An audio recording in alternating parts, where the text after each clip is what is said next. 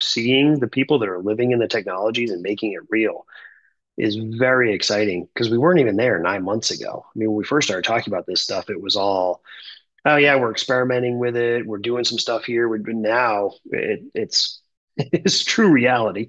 You know, we've always said in the consortium that it takes what three times I think for an idea to stick. When you have four or five different companies present over the course of a few months on these things and you start to see themes developing and how they're approaching it and what they're doing with it you know that the the funnel is actually starting to get somewhere where we're operationalizing all of these things which i think is super super interesting and exciting. I can't wait to share so much of this with so many people.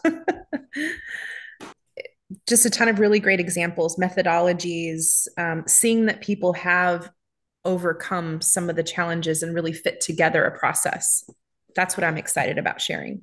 You guys are way ahead of the curve in terms of most people are still in the panic mode, right? So everybody's got to jump on the AI bandwagon and they're they're getting executive pressure. So they got to like temper that somehow. Or everybody's just implementing in general and, and there's a lot of chaos around it. So I think the organization and structure you guys are putting around it is going to be really beneficial down the road a lot of the stuff that we have been working on translates really well into the AI world. We don't need to invent new ways of of of doing business or or being, and that change management is as important as it always was, and that's something the machine doesn't change.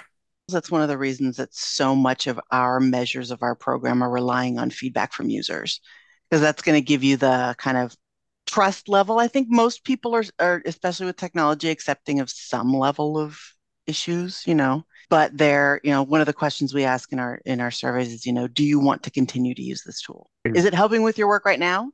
Do you want to keep using it?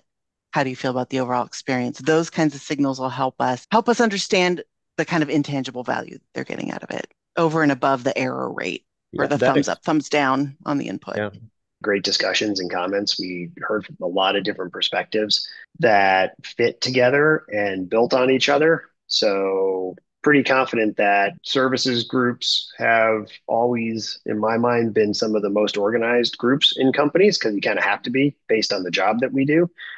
And I think that is helping us in this transition and these changing times to be thoughtful about how we're doing it and doing it in the right way. And as always, the kind of consortium membership and the people that are a part of this community are continuing to be some of the smartest people that I think we get to interact with